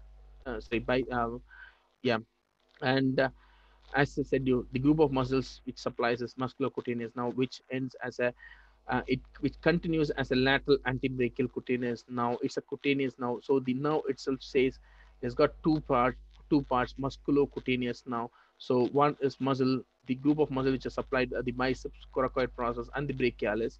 And it continues as a lateral uh, cutaneous now on the elbow so i think with this okay when it comes to the posterior aspect of the arm, as I said, the three muscles which are in the arm, the anterior aspect is the brachialis, biceps, and the uh, coracobrachialis. The only muscle which is on the posterior aspect of the arm is the triceps brachii or the triceps muscle. So when it says triceps, it has got three origin.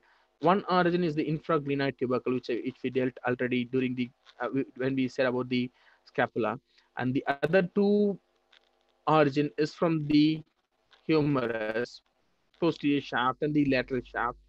All these origin gets inserted into olecranon process on the posterior aspect. So gets attached are inserted to the olecranon process on the posterior aspect. The muscle is represented in the posterior side of the arm and gets attached to the posterior aspect of the elbow or the olecranon process. So it's actually the arm. What I wanted to stress when it comes to the upper limb, most almost all of the muscles on the posterior aspect of the arm and the forearm is supplied by radial nerve.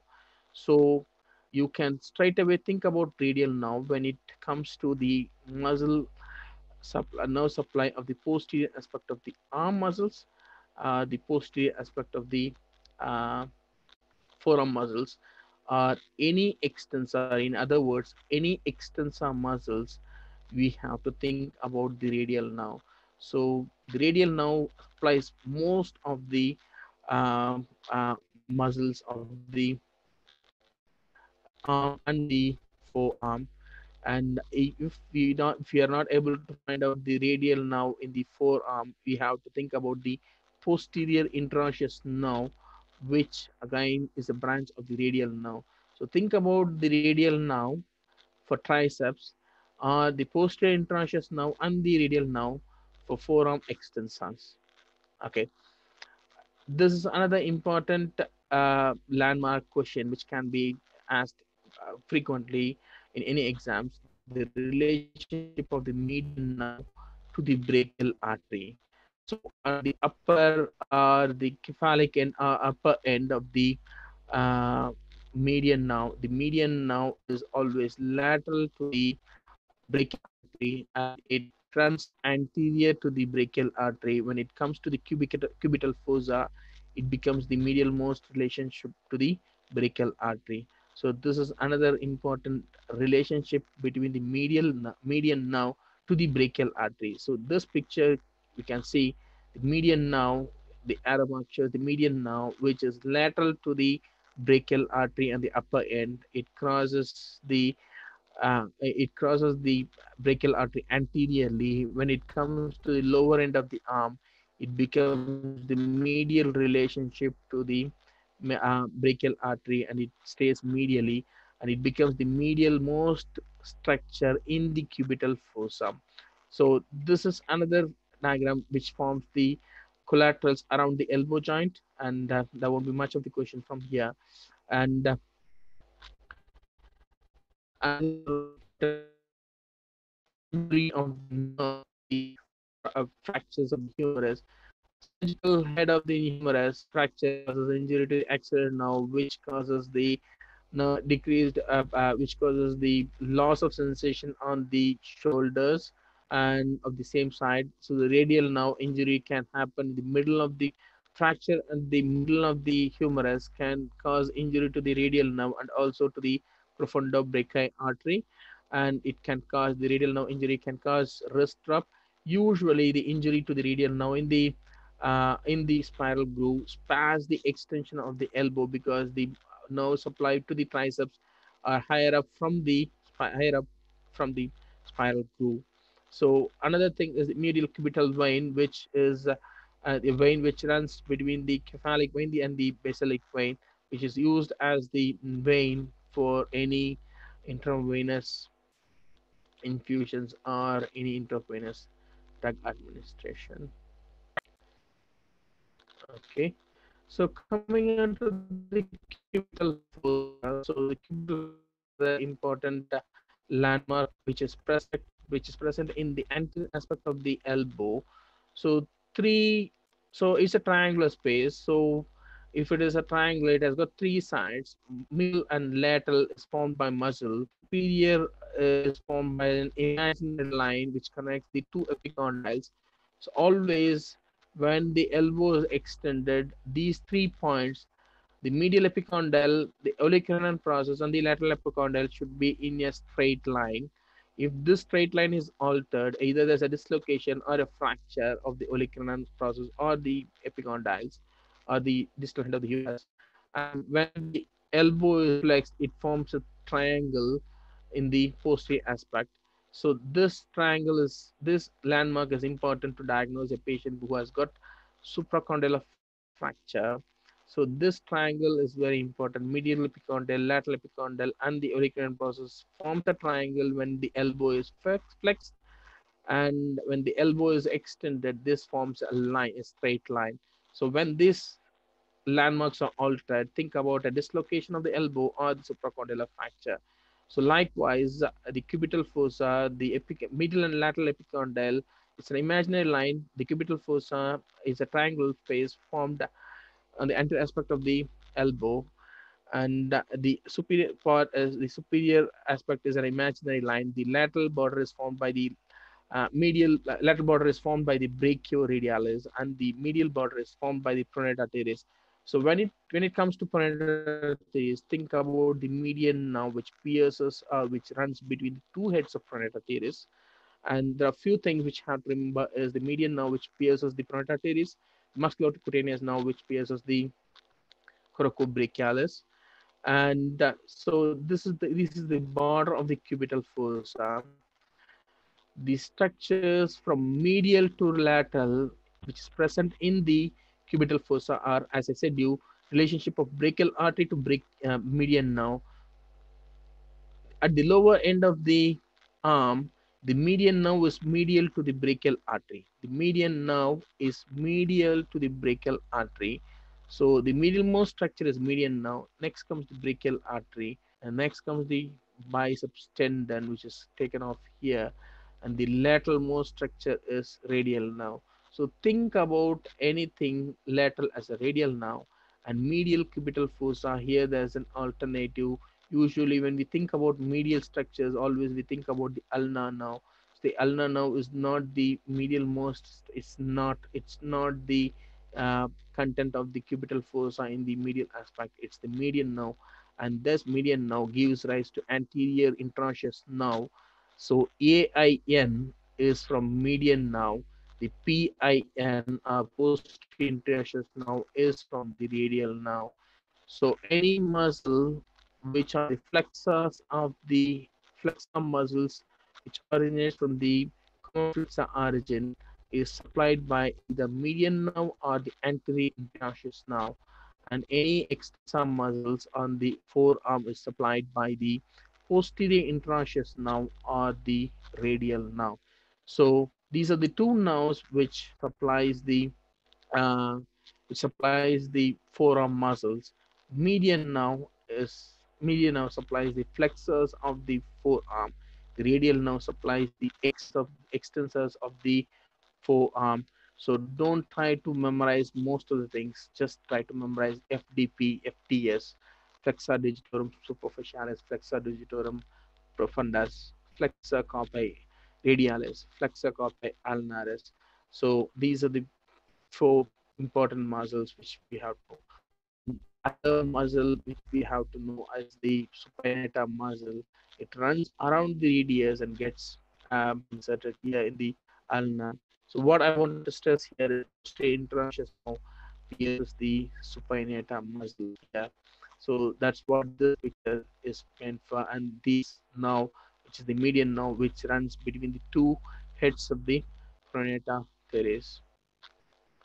So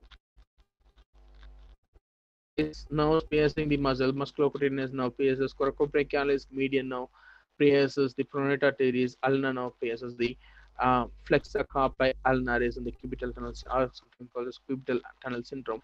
The posterior interosseous now pierces the supinator. So these are the four muscles which in the in the upper upper arm, upper limb, where the nerve pierces the muscle. So coming on to the bones. So again, to identify the side of the bone, radius upper end is circular and it has got facet uh, circular it has got facet to uh, accommodate the um, uh, the humerus and the tuberosity and the lower end has got styloid process on the radius. The lower end anteriorly it is flat and posteriorly it is rounded. The styloid process of the ulna is the most prominent uh, part so think about the olecranon process. The flat surface of the olecranon process is always posterior and the trochlea is present. The trochlear notch is present for the trochlea uh, of the humerus and this forms the anterior. So upper end, lower end, anterior, medial and, and medially you have the radial notch. So three things which we have to know, as I said, you upper end, upper anterior medial or lower posterior lateral. So you can use any combination, whichever is possible of these six you need one in each so that we can identify which side the bone belongs to. So it can be either upper end and lower end or it can be anterior posterior it can be medial lateral. So when it comes to radius i used to think about upper end which is circular. The lower end has got a styloid process laterally, process laterally and uh, the upper end has got the circular facet to accommodate the humerus and the anterior has got broad uh, anterior aspect the radius. So these three things is more important. And again, it's very easy to identify the ulna again. The, the medial aspect, uh, the lateral aspect of sorry, the lateral aspect of the um, ulnar bone has got radial notch of the ulna to accommodate this radial ulnar joint, which, which forms the radial ulnar joint. So that's easy and the common flexor origin from the medial aspect, the common extensor origin from the medial, sorry, medial epicondyle, the common extensor origin from the lateral epicondyle. Don't try to memorize everything. Just memorize, just logically think about FDP, FDs, FDS, and uh, flexor carpi ulnaris, flexor carpi radialis, pronator teres, and the supinator teres, supinator and pronator teres, which are the so we know about the pronator teres, which forms the lateral border of sorry, which forms the medial border of the uh, cubital fossa, and the uh, pronator quadratus muscle, which is which is that in the uh, lower end of the uh, forearm muscles. Okay, so no supply, as I said you already, all the forearm muscles, flexors of the forearm muscles are supplied by the medial, and the extensors of the forearm muscles are supplied by the radial nerve are the posterior interosseous now. Flexor muscles of the and uh, flexor muscles of the forearm is supplied by the median nerve or the anterior uh, anterior interosseous now. Okay, so this is anterior interosseous now, which supply the flexor digitorum profundus, flexor longus, and pronator quadratus. And uh, um, so this is the classical anterior interosseous syndrome, anterior interosseous nerve syndrome. When there is a loss of anterior interosseous now you have this flexion deformity in the index and the extension deformity in the uh, extension deformity in the thumb because the flexor um, the flexor pollicis longus is gone and the flexor digitorum uh, profundus is gone so it goes for this kind of um, deformity and as i said already so these are the extensor muscles don't get uh, uh, don't memorize all these things. Uh, it's not going to help you. Just think about uh, one now, which which supplies all these muscles are the radial nerve and the nerve which is another nerve which supplies this is posterior interosseous now.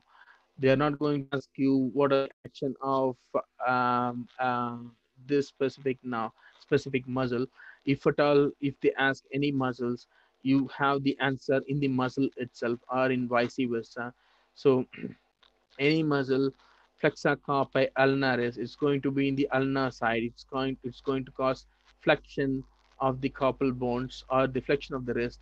As it is in the ulnar side it's going to cause the adduction of the wrist. So it's very easy to remember any muscle action of the forearm so flexor flexion. Ulnaris either it it it it, it fixes or it causes adduction extensor it extends it causes extension and the also and also the adduction so when it comes to carpi radialis so it causes abduction as it is in the radial aspect and it causes extensor. Extensor carpi radialis brevis. So any muscle which is brevis is going to help the longest muscle so brevis muscle helps the longest muscle and the extensor carpi radialis so it causes extension of the carpal or the wrist bone and the radialis, it's as it is in the radial side, it can it can also cause the abduction. If it is there in the ulnar side, it's going to cause the uh, adduction. Okay, when it comes to pollicis, it's going to help the thumb to thumb. So when it comes to pollicis, it's abductor, abduction of the thumb. Extensor pollicis extends the thumb. Extensor pollicis longus again extends the thumb, extends the thumb. So with the name itself uh, says the actions of the muscle. And when it comes to nerve supply, try to think about the common nerve or the radial nerve or whatever the nerve which I said you like groups of muscles and the groups of nerves. That's it. So posterior interosseous now, as I said, you groups of um, uh, it supplies all the extensor muscles of the uh, extensor muscles on the posterior on the posterior aspect of the forearm. So pronation supination, the important the supination happens in the superior and inferior radial ulnar joint. The pronation and supination happens in the superior radial ulnar joint and the inferior radial ulnar joint. And the pronation is by the pronator quadratus and the pronator teres. The supination is by the supinator and also by the biceps, biceps brachii. So supination in the mid uh, uh, flex, the, when the elbow is flexed 90 degree and when there is a supination and pronation, supination, it's by the biceps muscle. So coming on to the wrist drop, uh, I think instead of this slide, let me go to this slide. This is this will be much more helpful. So the wrist uh, injury to the radial now, and as you, uh, the now has got sensory and the motor aspect. So radial now injury can cause the wrist drop. Right? So how to find out is it high radial nerve injury or low radial nerve injury? Any injury to the radial nerve on the spiral groove, it is not going to impact the extension of the elbow. As I said you, the radial, the triceps is supplied by the uh, uh, radial nerve higher above the nerve branches, the branches to the triceps uh, comes higher up above the spiral groove. So most of the time the triceps gets its blood, uh, gets its nerve supply, though there is an injury to the uh, radial nerve in the spiral groove. So extension of the elbow is not left. However, when they even there is an injury below the spiral uh, from there's injury in the spiral groove, there is a chance of wrist drop because the nerve doesn't act on the extensor muscles.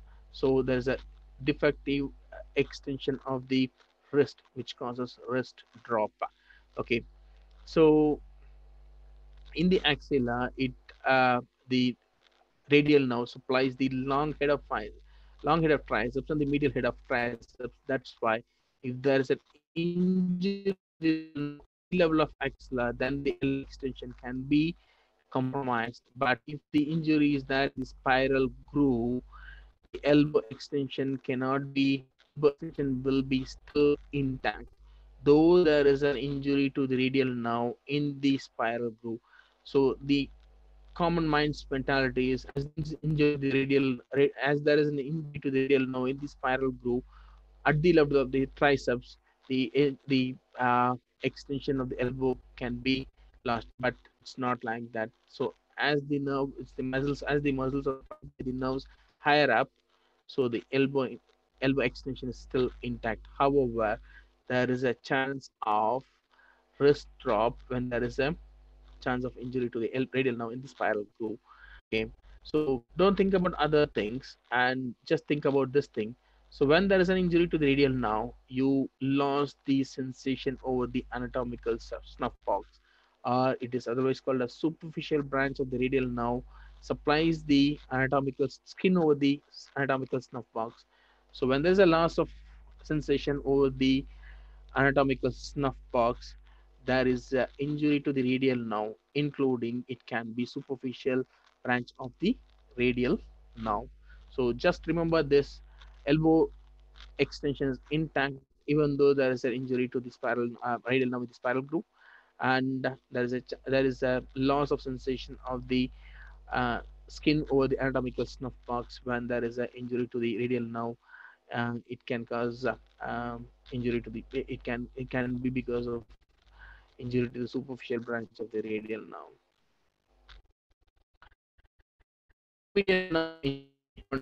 median nerve injury can cause uh, um, decreased nerve supply.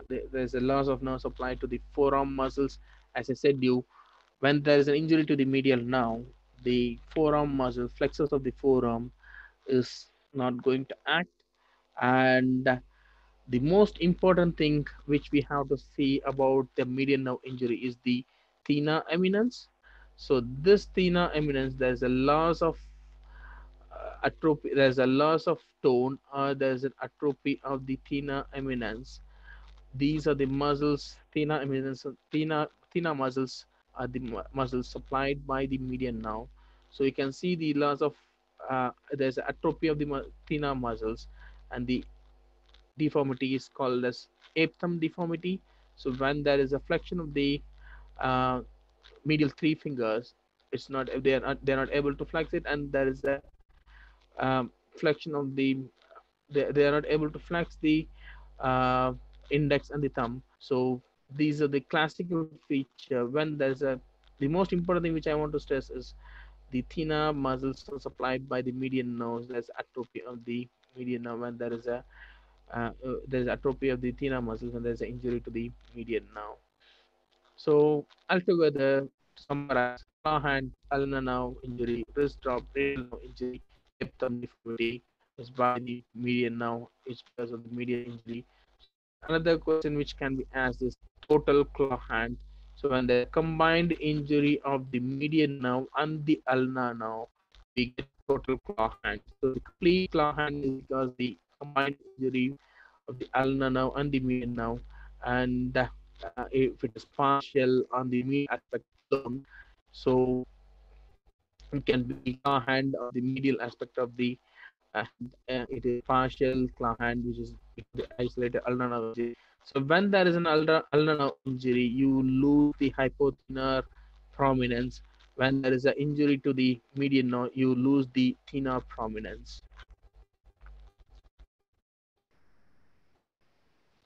Okay, muscles, nerve supply of the muscles of the hand. So to remember this, any muscles in the hand we can we can get answer for nerve supply of any muscles in hand just by knowing this loaf muscles so you just remember this loaf muscles we can answer any muscles nerve supply for any muscles in the hands. So what are these loaf muscles? Loaf muscles are lateral two lumbricals, that's three and four, and the opponens pollicis, abductor pollicis, and flexor pollicis. All these three muscles, OAF muscles, forms the thenar eminence. So that means this thenar eminence, as I said already, it is going to be the median now. So the one now in this thenar eminence, which is supplied by the ulna now. So the adductor pollicis is supplied by the ulna now, and all the loaf muscles, opponens pollicis, opponens pollicis, uh, sorry, abductor pollicis brevis, and flexor pollicis brevis. All these three muscles and these four muscles are supplied by the median nerve. So any muscle which is sub, uh, any muscles in the hand apart from these muscles are supplied by ulna. Doesn't even think about anything when they ask about the muscle supply or uh, nerve supply for hand muscles,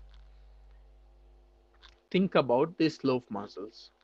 If you see that if these muscles are there, then answer this median now. If there is no, if there is anything apart from these muscles, it's all other muscles are supplied by the ulna now. For example, what is the nerve supply of dorsal interosseous uh, the uh, uh, uh, um, palmar interosseous or dorsal interosseous, whatever palmar interosseous. So we don't know the answer. So what could be the answer? So it doesn't comes under the loaf muscle. So the answer will be the deep uh, ulna now. So palmar interosseous, dorsal interosseous, medial lumbricals, hypothenar. So abductor, abductor digiti minimi. So what is the nerve supply of abductor minimi? Come under the of muscle. So it is the uh, it's ulna now. So what is the sub, uh, what is the now supply of the adductor pollicis brevis? Adductor pollicis brevis. Whether is that is it, it does it come under loaf muscle? No. So it is ulna. So except these three these four muscles loaf muscles any muscles which are there in the hand supplied by the ulna now so lateral two lateral two lumbricals opponens pollicis abductor pollicis flexor pollicis brevis all these four muscles are supplied by median now. Rest all are supplied by either you can say as a deep branch of the ulna now or ulna now. So whichever is is the option we can choose that option. So coming on to the actions of the flexor digitorum profundus and flexor digitorum superficialis. So the flexor digitorum profundus is a tendon which gets inserted into the base of the distal phalanx. So it helps in the, so as I said you, the muscle acts on the bone where it gets inserted. So it acts on this bone and it flexes the distal interphalangeal joint. Okay, flexor FDP gets inserted into the base of the uh, terminal phalanx. It acts on the terminal phalanx, so it only flexes the distal interphalangeal joint. Okay, so flexor digitorum superficialis or FDS. The FDS splits into two and it gets inserted to the um, on the lateral aspect of the uh, so when it acts, it's going to act only on this muscle. So it is going to flex the proximal interphalangeal joint. So FDP gets inserted into distal phalanx, so it causes distal interphalangeal joint flexion. The FDS inserts into the um, uh, base of the um, middle phalanx, so it gets it acts on the proximal interphalangeal joint. So these are the actions of the FDP and the FDS in the fingers, and likewise the extensor uh, muscles acts on the extension of the um, phalanx. So coming on to the nerve supply of the. So bit complicated. The logic behind this. Always medial aspect is ulna, and the aspect is the uh, median now or the radial now. So is either it can be anterior or the posterior or ventral or the dorsal aspect. Medial one and half on the anterior is by ulnar nerve, and the lateral two and a half, so lateral three and a half is by the median nerve anteriorly. When it comes to posterior or dorsal aspect, you divide the hand into two aspects, two nerves as two and a half, two and a half. And as I said you earlier, posterior is always dominated by the radial nerve. So give a chance to the radial nerve to supply the dorsal aspect of the uh, hand. And again, medial aspect is always dominated by the ulna nerve. So it gets dominated as two and a half, two and a half on the dorsal aspect, one and a half and three and a half on the ventral aspect. But when it comes to the tips, when it comes to the tips, again, the whole of the hand, the three and a half of the dorsal aspect is supplied by the sensory sensations are supplied by the median nerve. The radial nerve, though it dominates on the posterior aspect, it gives up on the uh, lateral uh, three and a half to the median now. And again, the median, uh, the ulnar now supplies the um, medial aspect of the dorsal hand. So altogether, just three nerves are there in the hand, ulnar, radial, and medial. So the ulnar now supplies the medial aspect of the hand. So it shares just one and a half on the anterior, but two and a half on the posterior or the dorsal aspect. The median now dominates on the ventral aspect, but it gives up on the dorsal aspect, but it takes up the three and a half, three and a half uh, chance on the dorsal aspect as well. But the radial now dominates on the posterior aspect always, or the extensor aspect always. So it takes up the two and a half, rest of the two and a half of the nerve on the dorsal aspect. So very simple, just make sure that three nerves, anterior and posterior, one and a half, three and a half anterior, two and a half, two and a half posterior.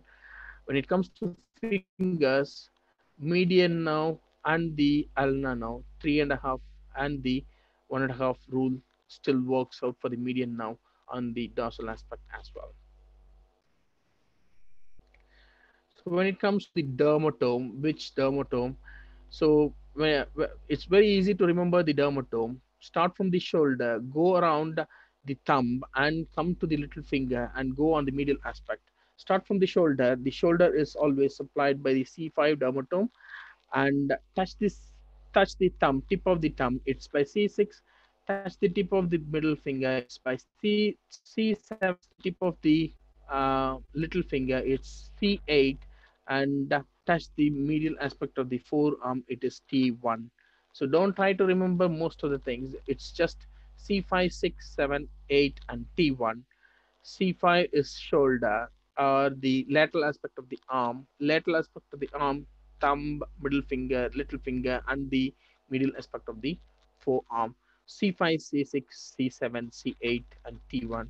So any sensation loss of sensation at the lateral aspect of the arm, C5 is last, tip of the thumb, C6 is last, tip of the middle finger, C7 is last, tip of the little finger, C8 is last, and T1 on the middle aspect of the forearm, or the middle aspect of the as middle, forearm. So this is the dermatome of the upper limb, and again, coming on to the um, coming on to the my myotome, C5, again, as I start from the shoulder, shoulder abduction is by C5, elbow flexion is by C6, elbow extension is by C7, thumb extension is by C8, and finger adduction by T1. As I said you already, adduction and abduction are by the palmar interosseous and the DAS. Palmar interosseous causes pad and dab, that's the universal mnemonic. Pad, palmar interosseous, AD stands for adduction of the palmar interosseous. Palmar interosseous causes adduction of the fingers, and the DAB, dorsal interosseous, which causes abduction of the fingers. DAB is for D for dorsal interosseous, AB for abduction. So DAB, D for dorsal interosseous, AB for abduction causes the so C5 shoulder abduction, C6, 7 flexion and extension of elbow, C8 thumb extension, and the myotome of T1 finger adduction, fingers adduction. So these are the radial nerve roots. And as I said, you axillary nerve is regimental badge. Regimental badge is nothing but it on shoulders. So C5 and C6, as I said you again, C5 shoulder abduction, shoulder sensation, all start from the lateral aspect of the shoulder. And uh, radial now, which has got all now roots C5, C6, C7, C8, T1. Ulna, as I said, you it dominates on the medial aspect of the arm. It's C8 and T1. Medial now, which dominates uh, elbow like C5, C6, C7, C8, T1. Musculocutaneous now it dominates the anterior arm C5, C6, and C1, C7. So think about the nerve roots and relate it to the um, specific location.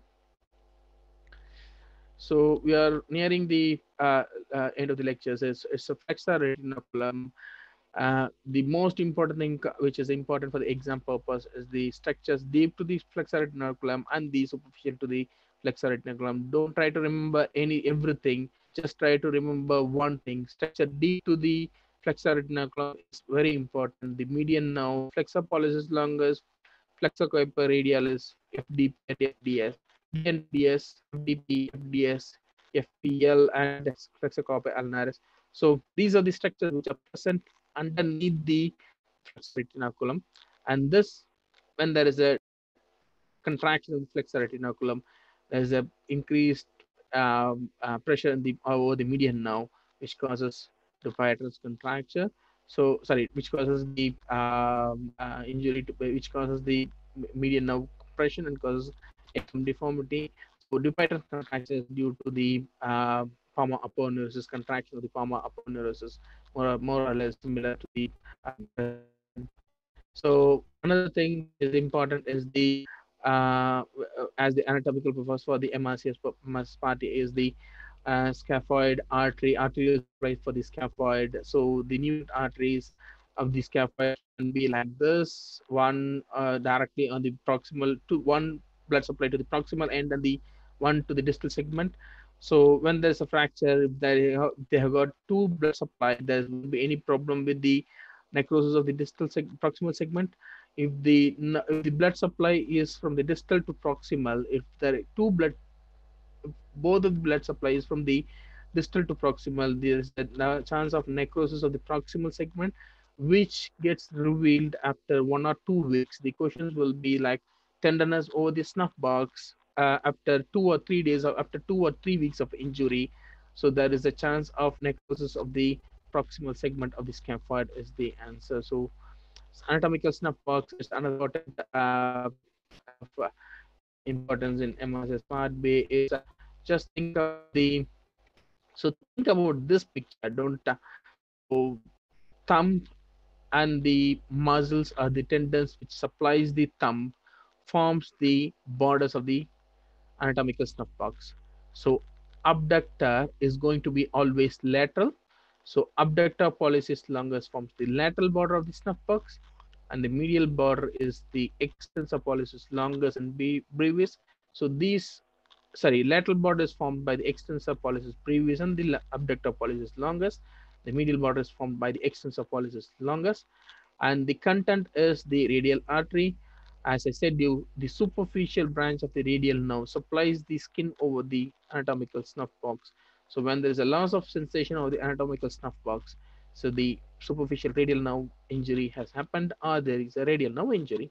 Any tenderness over the anatomical snuff box, again, the bone which is underneath the anatomical snuff box is the scaphoid and the trapezium. So the scaphoid the chances of injury to the scaphoid or the scaphoid fracture uh, uh, can be picked up by the tenderness of the snuff box. Thank you all, and I think I almost uh, um, did my most of the things we we have covered most of the things, and I'm not sure how far this would have been helpful.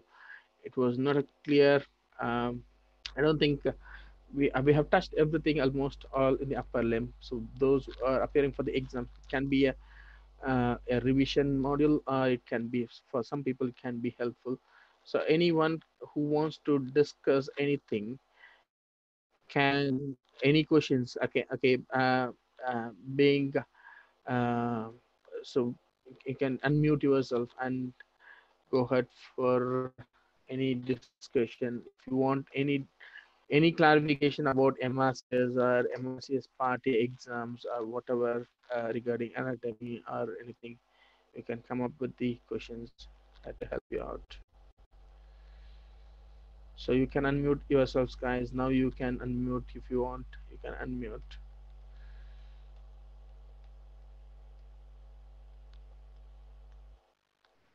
Anyone wants to discuss about anything? It can be anything regarding MRCS, uh, regarding anatomy of the upper limb, or uh, you can uh, I've got some another five minutes or two to five minutes for you guys to ask any questions.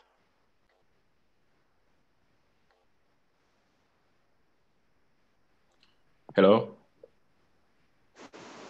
Hello, hi. Uh, you are Yeah. uh, Mr. Romanes. Yes, Yes, um, please. I'm a registrar in South Africa, Groote Schuur Hospital. Yeah, I just want to say thank you for the wonderful presentation. It's been excellent. Thank you you. so much. It's been useful for me. Thank you. So, any doubts or anything which you want to uh, discuss? No, I'm, I'm okay for now. Thank you. That's fantastic. Thank you. Thanks a lot.